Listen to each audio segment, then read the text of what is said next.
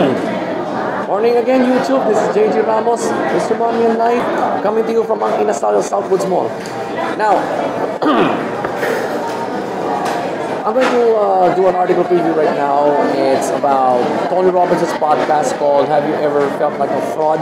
Now, it's a, it's a really, it's a really enlightening podcast. It's about oh, we all we all go through this. We all go through this, especially network marketers like me. We feel like uh, we feel like we haven't been doing enough with our business, or we haven't talked to uh, to the right people yet. We feel that we're not ready for such an investment. If you're uh, investments, of course, we're not ready to. Uh, even students, we're we're not ready to go. We're not ready to even go to school or even to graduate from school or finish studies we all we all feel that same uh, what you call this we all we all encounter low self-esteem sometimes and Tony Robbins' podcast will will definitely will definitely educate and enlighten you on that now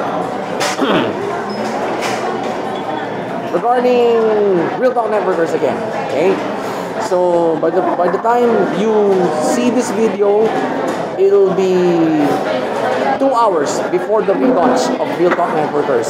So I'll be inviting you again to join that F, to join my F, that FB group of mine.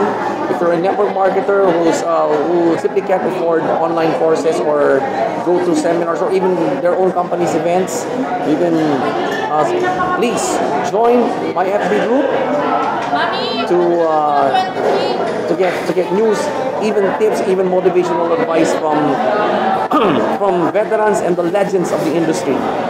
So, that'll be over now. Happy Friday.